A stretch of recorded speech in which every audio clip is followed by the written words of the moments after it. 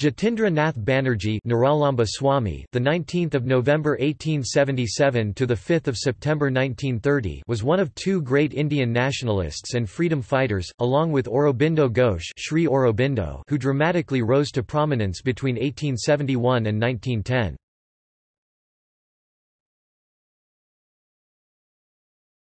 Topic Biography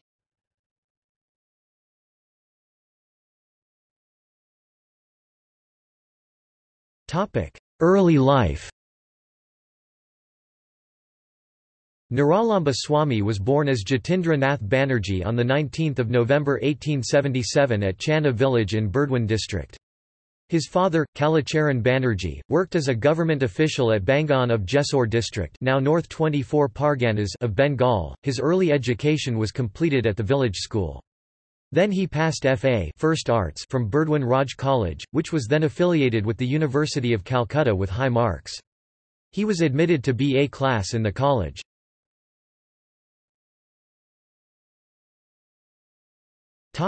Freedom struggle While at college, Jatindra Nath, Jatindra Nath Banerjee began developing interest in political activities of India. He was drawn towards radical and revolutionary methods of attaining independence. He felt that revolutionary methods were necessary to attain independence and he became the first to preach the adoption of revolutionary methods for attaining independence. For using revolutionary methods, a large army was needed and so martial training of countrymen was essential. So Jatindra Nath left his studies halfway in search of martial training. He tried to get himself enlisted in the British Army but did not succeed.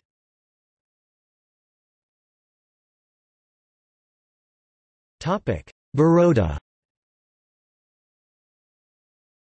Having failed to enlist himself in the British Army, Jatindra Nath began wandering in search of a job.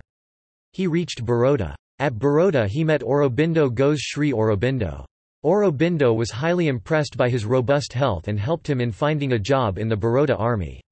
In the year 1897, Jatindra Nath joined the Baroda army as a bodyguard of the king of Baroda. He also became an associate of Aurobindo. Aurobindo began devoting energy towards national activities. When Anushilan Samiti was formed at Kolkata, Aurobindo sent a request to Jatindra Nath to join the organisation. So Jatindra Nath left his job in Baroda to join Anushilan Samiti, he became one of its prominent members. Jatindra Nath's father did not like the fact that his son had left his studies and that he had involved himself in anti-British activities. To divert his son's attention towards family matters, he married him off. But still Jatindra Nath became more deeply involved in the freedom movement of the country. The Alipore bomb case and repression of all revolutionary activities in Bengal forced Jatindra Nath lose interest in the nationalist activities. He went back to his native village, Channa village soon he was married off by his parents to Hiranmoyi.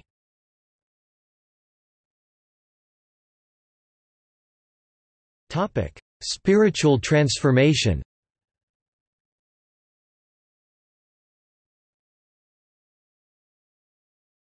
Topic Early indication During his childhood Jatinendra Nath Banerjee was known to be unruly, but as a teenager he became thoughtful. He began to frequently visit the temple of goddess Bishalakshi also known as Bishalakshmi, another name of the goddess Durga, where he would sit for hours in deep contemplation.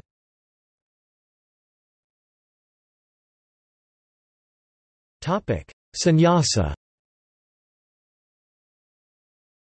After the suppression of revolutionary activities in Bengal, Jatin Jatinendra Nath Banerjee went back to his native village. His mind became engrossed in spiritual thoughts. He would frequently visit the temple of Bishalakshi large-eyed goddess and would remain there for hours. He would pray for spiritual strength self-purification and spiritual knowledge. He began to feel the need for a guru. Meanwhile, his parents died and a daughter was born to him. He felt a deep need to get rid of worldly ties. Consequently, one night he became a wandering monk i.e. he took sannyasa. Jatin felt that for gaining spiritual knowledge he needed the help of a guru and hence he began to search for one. He wandered many places in search of a guru but could not find any genuine ones.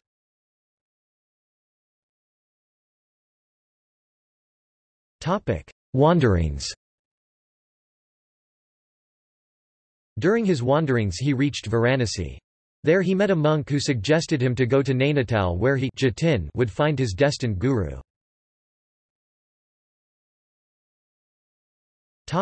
Nainital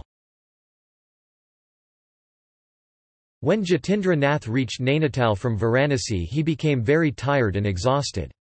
Yet he managed to find Soham Swami, his destined guru. Soham Swami had established an ashram near the bank of a river.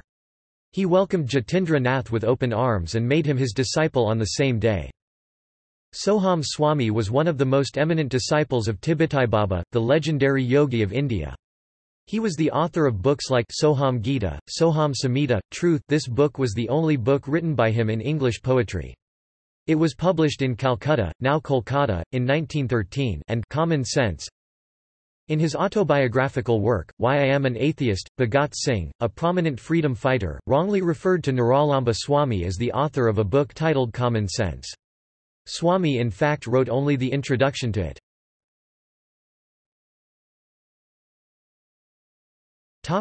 Haridwar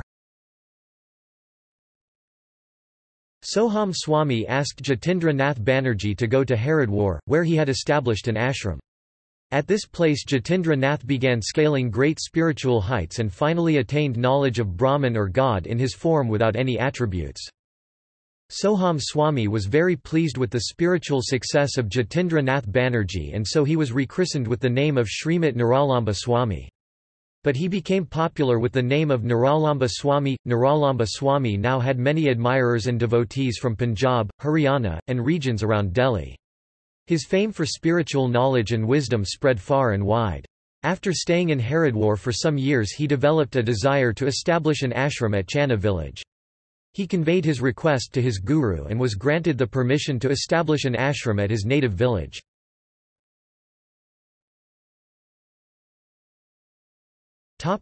Channa village After staying in the northern India for many years, Niralamba Swami reached Channa village, his native place. Many people of his village and other nearby villages had gathered to have a glimpse of their famous man. He first visited his home to meet his wife. Through her he came to know that his only child his daughter had expired. He managed to convince his wife to spend the rest of her life with him as the mother of the soon-to-be constructed ashram at the village. She was rechristened as Chinmoyi Devi. Soon an ashram was constructed by the side of the village river bank and Niralamba Swami began staying at the ashram with his wife and some devotees and disciples. Niralamba Swami's fame as a great guru and a yogi spread even more in India. His life at the ashram was spent both as a bhogi enjoyer and a yogi. He would daily consume the best quality betel leaves and tobacco available at the time. It did not remain unknown that the former freedom fighter had become a famous yogi of India. So many former comrades of Niralamba Swami formerly Jatindra Nath Banerjee and many freedom fighters began visiting him for spiritual guidance and inspiration. Among the notable freedom fighters to have visited Niralamba Swami was the legendary Bhagat Singh. He had met Niralamba Swami at Channa Ashram at Channa village in the beginning of 1929 1927–1928 according to some. Another famous person associated with Niralamba Swami was Prajnapada (1891–1974). He was popular with the name of Swami Prajnapada. He became Niralamba Swami's disciple in 1924–25 at Channa Ashram. He also became a monk, took to sannyasa. Prajnapada was a follower of Advaita Vedanta philosophy and taught realization of self-knowledge using Jnana Yoga method the path of self-realization using knowledge. Many distinguished persons had also visited Niralamba Swami at his Channa ashram at Channa village. Among them was Baba. Niralamba Swami had hailed Baba as one of the greatest exponent of Advaita Vedanta after Adi Shankara. He died on 5 September 1930.